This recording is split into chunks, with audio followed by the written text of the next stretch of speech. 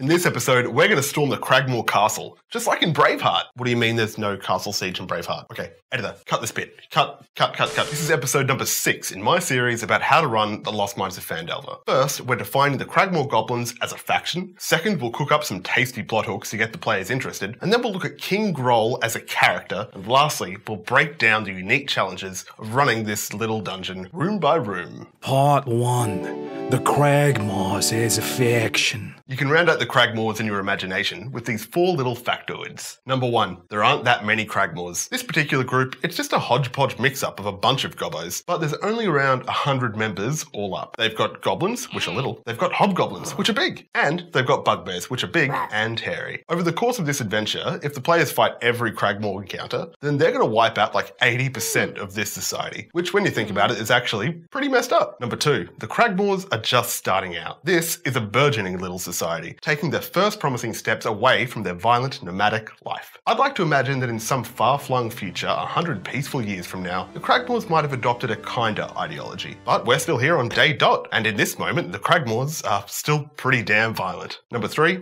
they're a monarchy. Clearly, because they're led by King Grol, not President Grol, not Prime Minister Grol. This doesn't seem like the standard kind of way to organize a goblin society, does it? Instead, it feels like a little bit of a mimicry of a human society. I imagine Grol walking through the abandoned Cragmaw Castle, moonlight filtering through a hole in the dilapidated roof, and looking at old paintings and murals of grand wizards and nobles and kings, and he might think that emulating these humans might be a great path towards greatness. So when you're representing the Cragmaws in your game for your players, keep in mind that they're a monarchy. So these goblins might be knights or nobles or jesters, and it's all a part of their royal mimicry. And fourth, they are militaristic. Despite their king's noble ambitions, the Cragmaws, they have violent delights. They aren't farmers, they're not artisans, they're just captains and soldiers. If they want food, they don't grow it, they take it. And when the Cragmaw goblins, they need to repair their goblin stronghold, which is the Cragmaw castle, they can't do it alone. They don't have the technology or the skills or the resources. They need help, and this is where the Black Spider comes in with her engineers and resources and magic to help rebuild this brick and mortar symbol of the Cragmaw's hope. Because there's some sneaky snakes, the Cragmaw castle's location is hidden at the start of the adventure. However, there are a bunch of ways the party might get there. In fact, if the party shakes this information out of Klarg the Bugbear right at the beginning, the players might even head to the castle before going to Phandalin, which would be dangerous, yes, but it's totally possible. Part 2 Plot Hooks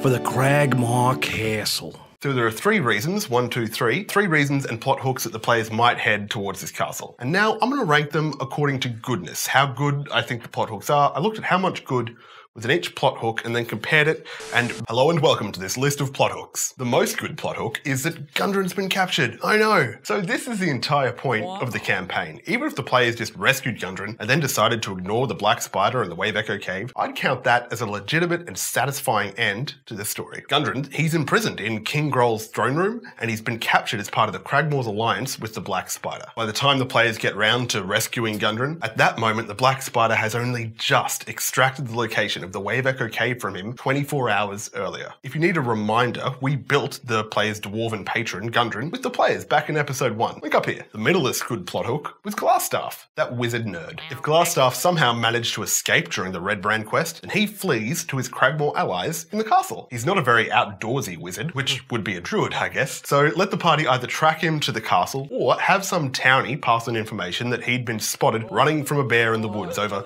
yonder direction. If you need a refresher about Glasstaff as a character, then check out the Red Brand episode up here. The least good plot hook is Sildar's equipment. This plot hook has never really worked for me. When Sildar Hallwinter got captured right at the start of the campaign, the Cragmaw Goblin sent his chainmail and his longsword over to the castle, along with Gundren. He's a knight, and his gear probably has some sentimental value to him, so he asked the players to go fetch it. That's it. It's a fetch quest. The reason this little storyline has never really worked for me is that when the party finally discover that Sildar's gear is in the Cragmaw castle, they forget that he'd been captured by the Cragmaws right at the beginning, and they assume that his gear being in the Cragmaw castle is some kind of evidence of him working with the Cragmaws and being a bad guy the whole time. OMG, OMG players, wow. I don't know if this mix up just comes from the way that I describe the scene, or if it's a feature of the adventure. If this has happened to you, please let me know downstairs. Part 3 King Grol as a character.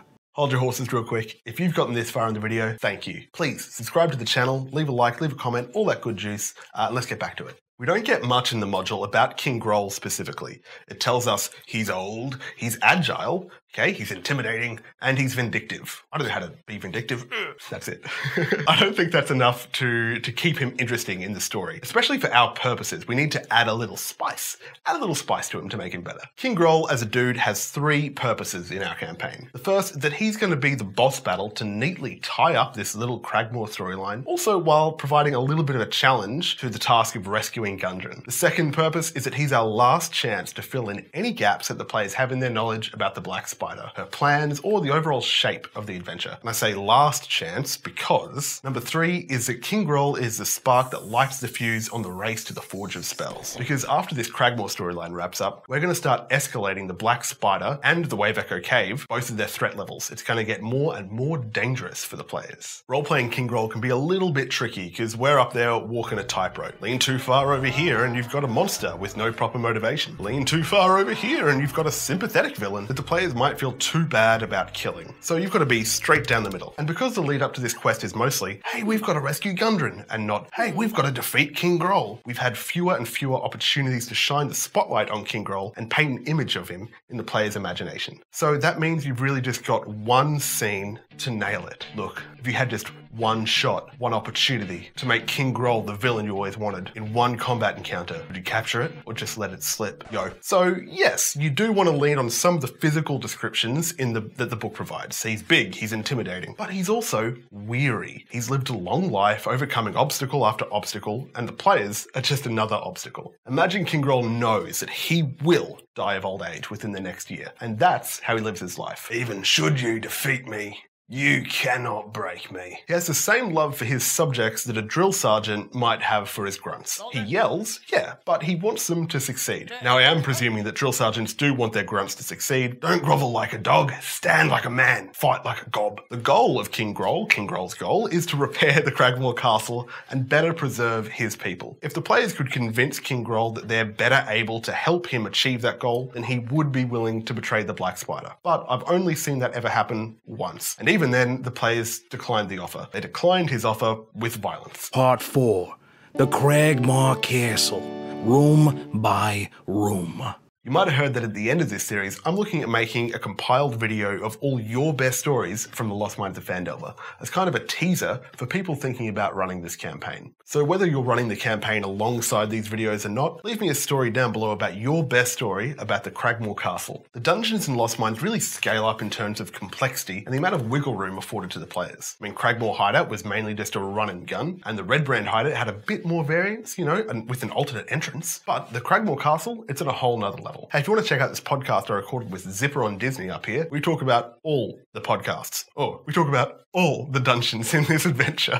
but the Cragmaw Castle is a little bit different than all those other dungeons beforehand. The shape of it, though, is an old standard. So you just say to the players, okay, here in front of you is this obstacle. How are you going to overcome it? And the players are going to look at this castle and come up with a whole bunch of crazy solutions. Here are some of the solutions that I've encountered when I've run this adventure. Solution A is the players walk to the front door, announce themselves as the protagonists, and start murdering goblins. Solution B is the players walk up to the front door again, but this time they use their red brand and glass staff disguises to bluff their way into the castle. And they get as far as they can before they get caught. Solution D is that they rally the people of Phandalin and they arm them with the red brand supplies and they storm the castle. This is something that I've never seen, but that would be so cool. Given that there's a few ways to approach this, I'm going to presume that you have the most basic players who just want to walk through the front door, which probably means they're going to enter through room 1. So Gundren's imprisoned up here in the throne room, so that's our goal, room 14. Then the most common path I've seen players take through this dungeon is they go through like this through the banquet hall. Now prepare yourself for we are about to cut a few encounters. Room 6, this whole room does not exist. No fight, no room. Room 4 over here, this room is empty, but the room still exists. We're going to cut the goblins from room 9 and combine it with room 8, and the alternate entrances are over here in room 10. This is where the players can roll to unlock the gate, or room 11, which is a secret door. Room 1, the castle entrance. This is your opportunity to really drill home just how dilapidated the castle is. Well, here's your problem the door's off. None of this is up to code. Not only should you carry this theme through the whole castle, but you want to point out areas where the goblins have tried unsuccessfully to repair sections, just to highlight their, their will to repair and also their inability, inability to do it. There are some arrow slits here with the goblins in room 3. They can take some pot shots if they see the players. Room 2 is the trapped hall. This is just a hallway with a bunch of other rooms, but there are two points I want you to take away from this kind of hallway. In general, when you're designing a hallway, I don't want you to make it this complex. There are too many options here. As a test, when you're trying to work out whether a hallway has too many options, try and describe all of the exits to a fictional player and imagine doing that without a map. And if you could do it successfully, great. If you couldn't, too complicated. We're not going to mess with that in this instance because it's not really worth the effort here, but it's something to keep in mind when you're making your own dungeon. The second point I want you to take away from this hallway is that we've got a trap here, but if you remember in the last video, we cut the hallway trap. So what's the deal? Where's the consistency? We're going to keep this one because it has dramatic consequences. Let's say if the players trigger this trap, then it's actually going to pull down this whole wall and it's going to reveal room 8, the dark hall. And then the Grick that lives inside, it's going to attack the players. Creepy. Room 3 is the archer post. Now this room is actually two locations, here and here. The module says that there's two goblins in each of these rooms, but let's just make it one in each. When the players try and open one of these doors, the goblins have actually barricaded themselves inside, and they'll say something like, No, thank you. Uh, we don't need any adventurers in here. Thank you. Uh, we're fine. Goodbye. Goodbye. Have a nice day. If the party kicks down one of the doors, gets the goblin's wishes clearly, then the goblin inside will fight, but it's actually the goblin in the opposite room that's going to open the door and run to get help. As this second goblin takes its first steps out the door, roll initiative and say directly to the players, this second goblin over here, they're running to get help. If this one down bottom, if he's the runner, then it's going to head to the banquet hall in room 7 and it's going to come back with goblin allies. If this one up top is the runner, it's going to head through room 5 all the way to room 9, which is the goblin shrine, and then it's going to return riding the Grick. So basically, if the runner succeeds in their goal of getting help, then you want to roll whichever room they got to, you want to roll that room's combat into this hallway encounter. If you really want to give the players a chance to catch the runner, say it used its action to dismantle the barricade and get out of the door, so that means it can't dash and, you know, can't just get there in one round. Room 4 is the ruined barracks. There are normally three goblins in here, but we've cut this encounter. This encounter is meant to be one of those put these enemies down quickly before they run and get help kind of things. But in the interest of reducing the number of combats in this dungeon so we can get through it a bit faster, that's why we transferred this role to the goblins in room 3, those two runners. Room 5 is the storeroom. Now this is a storeroom where the players can find Sildar's chainmail and his longsword. There's also very fine brandy in here that if a character drinks it, it's going to restore one hit point. And I absolutely love that because it reminds me how they treated food in Lord of the Rings. It's not magical, it's just the morale bolstering effect of excellent brandy. Room 6 is the Hobgoblin Barracks. We've cut this encounter and this entire room because these hobgoblins don't challenge the players in any kind of meaningful way. They don't advance the story and they aren't particularly fun. If you want to know my full criteria when deciding whether or not to cut an encounter, then you can check out this video up here about wandering monsters. This banquet hall in room 7, you can play it as written. It's a fight between eight goblins who'll flee if their leader Yegg is killed. But you've got to make sure that you describe Yegg in a way that really singles him out as a leader, so the players know they should target him. Room 8 and 9 are the Dark Hall and the Goblin Shrine. The goblins in room 9, they don't exist because we've already fought heaps of goblins. They're boring by now, right? Instead, it's just the Grick, which is this big wormy boy hiding on the roof. I reckon you could add some visuals here to really clarify that the Grick is a pet of the goblins. Maybe the goblins leave out a food bowl for the Grick and it says, you know, fluffy or whatever, and there's a sign that says, bless this mess, bless this Grick. So there's meant to be a magical statue hidden in this room somewhere, but I think instead you could move all of those magical properties to this chalice on the altar over here. I went on a podcast last year called First Roll On In. I told this story about how my players literally fought each other over this chalice for some reason. There's a link in the description. It was good fun. Room 12 is the guard barracks. There are two hobgoblins in this room and they're dressed in ramshackle knight's attire. These are the King's Guard. As soon as combat kicks off, one's going to position himself in a choke point between the players in room 14 and valiantly fight to the death. You shall not harm the king. The King's Guard protects the realm. The other hobgoblin either retreats to retreats. The other hobgoblin either retreats to room 14, but if that path is blocked, it's instead going to go down here and try and release the owl bear. Now, when the owl bear gets out, the first thing it's going to do is kill the hobgoblin that released it. Sorry, my dude. Room 13 is the owl bear's tower. I would consider cutting this encounter if owl bears weren't already such an iconic creature. Not only is this a classic creature, this is a classic situation. What you do is you put a tough creature in front of the party, something that's clearly avoidable, with no discernible reward attached or reason for engaging this dangerous enemy, and then he watched the party say, oh yeah, I really want to fight that owlbear. So let's leave this encounter as is. Room 14 is the King's Quarters. Like with every boss encounter, this fight needs to start with roleplay. Even if you have to pause initiative for a little bit, that's totally fine, because our boy has got things to say. The situation doesn't necessarily have to end in combat. I mean, the players could convince Grol that they could help him achieve his goal of repairing the castle better than the Black Spider could. He might even let them leave. One way of achieving this might be if one of the players flashed the sheriff's badge that they found in the Red Brand jail cells, convincing Grol that the town of Phandalin might be able to help them rebuild. Regardless of how the players attempt to convince King Grol, he insists on keeping Gundren as collateral. Or if one of the players want to take his place, he'll, he'll take that as well. But he absolutely will let Gundren tell them the location of the Wave Echo Cave so we can advance the story, and so the players can get there and smash the Black Spider. But more often than not, things are going to kick off. To make this moment as epic as possible, we are massively going to change this combat. We're going to switch up the combatants, we're going to mess with King Grol's stat block, make him a little bit scarier, and we're going to add some dynamic terrain in the room to make it more fun and cinematic. This is a boss battle, and it needs to feel like a boss battle. There's no doppelganger in this fight, it's King Grol, his wolf, a hobgoblin, and then enough goblins to make sure there's equal combatants on each side. The hobgoblin is either the same hob knight that retreated from room 12, or it's a fresh one, either way. According to the book, King Grol is just a very tough bugbear, which I think is kind of a waste. I want to highlight his role as a battle commander, so I've given him some new abilities. Biggest change is that he can use his action to mark one of the players, and then all attacks against that player have advantage, but only one player can be marked at a time. If you're interested, click up here to get this new and improved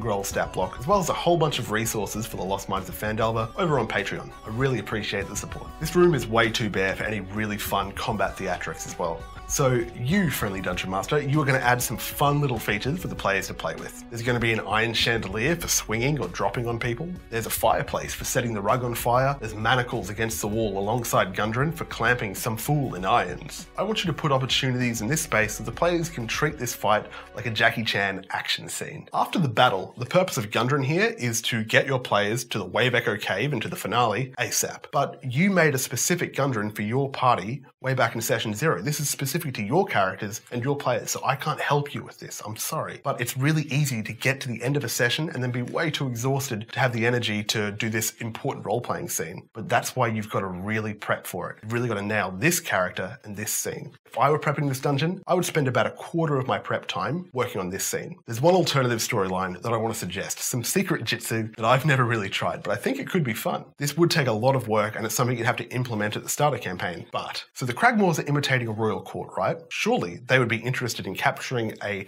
anointed knight like Sildar. In some alternate reality Lost Mines campaign, if Sildar got captured instead of Gundren, I can imagine that King Grol would make this noble prisoner train his subjects in some kind of knightly warfare or courtly protocol. A little switcheroo like this would mean there's some value to the prisoner, even beyond their knowledge of the Lost Mines, and I think it might help characterize the Cragmaws a little better. But it would also mean rewriting the campaign from the beginning, to put all of Gundren's relationships with the players onto Sildar. Or you could just make Gundren a knight as well. Whatever. Oh wow, not many people get this far in the video, you've done done it. Congratulations. Wow. If you've gotten this far, you're part of my core audience, my core fan base, and I love you. So, so I've got a Discord. Uh, it's in the link in the description. Come chat to us over there. That's where all the cool cool kids hang out. Also, have you seen these patrons? These guys support me. I'm very grateful. Thank you all.